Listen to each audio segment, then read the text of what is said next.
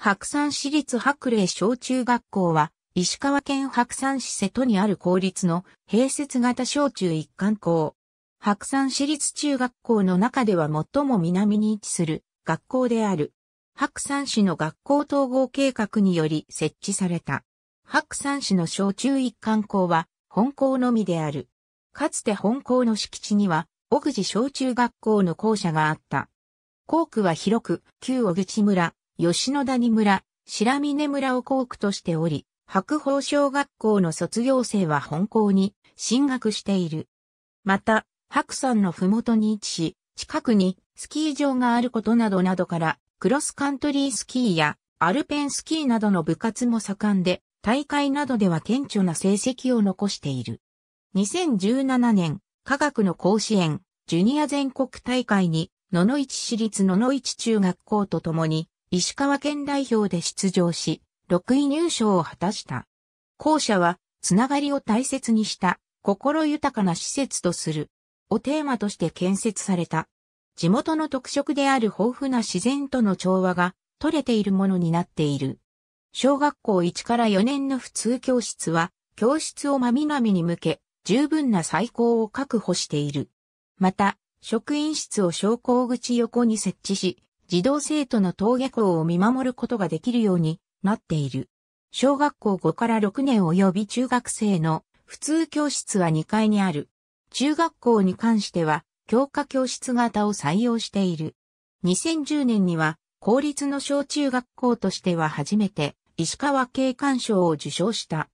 選考理由は田園と山々に囲まれた豊かな自然環境に溶け込み、エコロジーや雪深い地域の特徴にも配慮したゆとりと癒しを感じさせる校舎であるからだとしている。同校ホームページには校舎の外観や内観が掲載されている。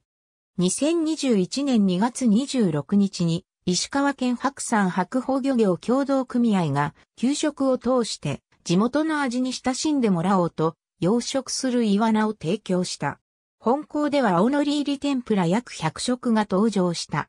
漁協は毎年約17万匹のイワナと約3万匹のヤマメを育てている。加藤由衣を組合長らが給食への提供を企画し、児童が食べやすいようにイワナの腹骨を取り除いた。また、同年7月13日には、小学生児童が瀬波川で水中生物の生態を知るため、川魚の放流を体験した。市や白山手っ取川漁協の職員の手ほどきを受け、バケツに入ったイワナやヤマメの稚魚に元気でねと声をかけ、川に放流した。瀬波川はキャンプ客にも人気で2020年は約2500人が利用した。